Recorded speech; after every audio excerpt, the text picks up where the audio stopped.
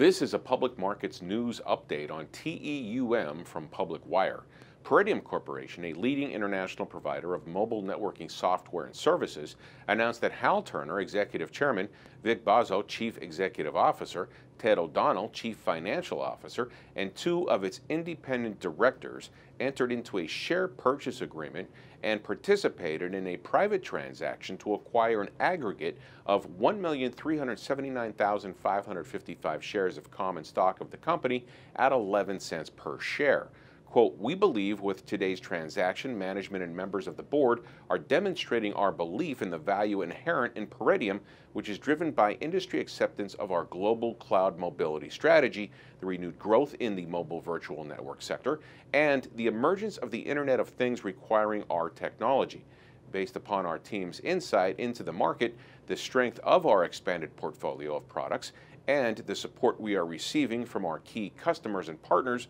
we consider the purchase of shares as an investment opportunity. Further, it is indicative of our long-term commitment to the company through the acquisition of additional shares of common stock, said Hal Turner, Executive Chairman of Pareteum. I'm Dave Donlin with an update on TEUM for Public Wire.